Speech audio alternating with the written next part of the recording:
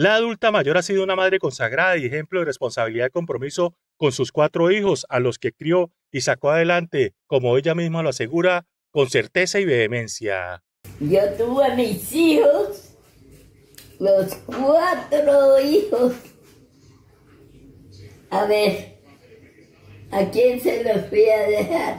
A nadie, ni a mi madre, que era tanta la adoración.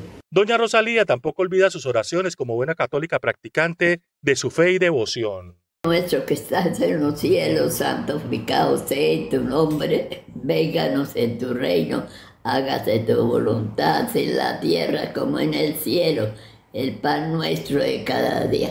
Danos de hoy, Señor, perdona nuestras así como nosotros perdonamos trabajadores. No nos dejes caer en la tentación y líbranos de todo mal. En compañía de una de sus hijas y de su cuidadora, Doña Rosalía mantiene una salud envidiable, con algo de sordera y dificultad para caminar por el paso de los años, pero aún muy lúcida y activa. Pues ella dice que como ella fue criada en San Gil, que la crearon con lo que la tierra producía en ese tiempo, que hoy en día es puro químico y todo eso, ¿no? Y ella fue una persona muy, muy de su casa, muy sana, ya no supo qué fue tomar, ni fumar, ni nada de eso, entonces también en eso va mucho la, la tranquilidad, ¿no?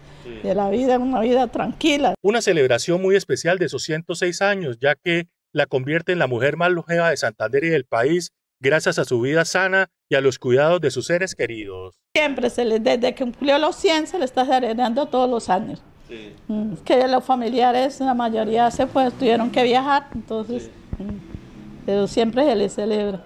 Otro ejemplo de senectud y senilidad que demuestran una larga vida que rinde homenaje al mes del adulto mayor en Bucaramanga y Santander.